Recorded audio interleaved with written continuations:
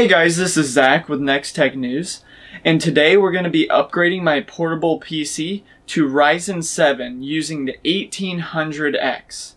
So let's get going.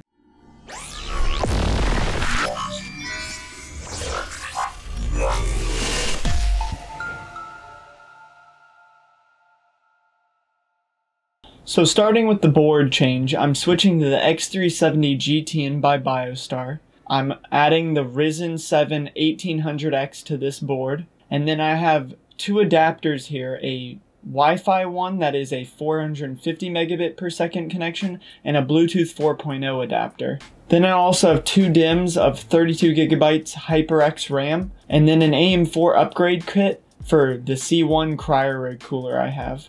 So let's get started on this upgrade. Let me take off this side panel real quick, which just requires these four screws. Then let me get this little portable PC plaque out and remove the C1 cooler.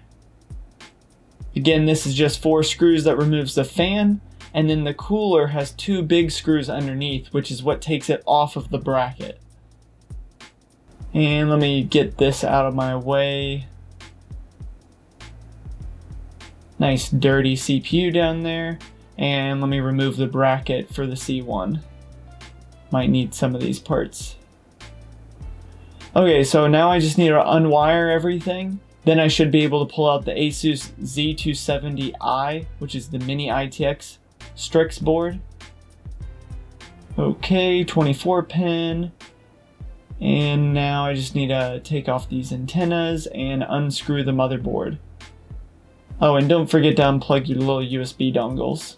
And I'm also upgrading the SSD here. I didn't mention it before, but I'm adding a 960 gigabyte SSD as one will be my work SSD now and one will be made for my NeXTech News SSD. Okay, so starting with this BioStar board, let's go ahead and get the 32 gigs of RAM in here and then install the AM4 CPU, which is the Ryzen 7 1800X all you have to do is you lift up the arm and then you set down the 1800X in the correct location. There'll be an arrow in the top left corner there. And then you just lower that arm and that will tighten down the socket onto the CPU. Then you just need to remove this stock bracket by removing these four screws. Alright, so now I just need to add these little screws for the new bracket and set down the new bracket, tighten it down with these nuts. And let's try to clean up this wire management a little bit so we can get it in here. Okay, so let's connect everything up. We got the 4 pin connector and the 24 pin connector. And let's connect some of the SATA up. Connect the front I.O. as well as the USB 3.0 connector. And as you can see, I accidentally already screwed down the board without putting the NVMe drive in. I accidentally left the NVMe drive in the Asus Z170i motherboard, so I had to remove that, take the BioStar board off, just so I could put the NVMe drive back on the back side of the board, which is where it belongs on this board.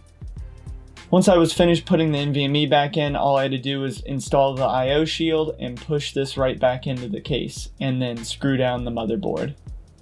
Then all I needed to do was plug in the USB 2.0 splitter with the two adapters on it, the Wi-Fi and the Bluetooth adapter, and then I just wired them to the top of the case. So there are no longer antennas on this case anymore, and that's really nice for slipping it in and out of my backpack now. Now all the Wi-Fi and Bluetooth is internal.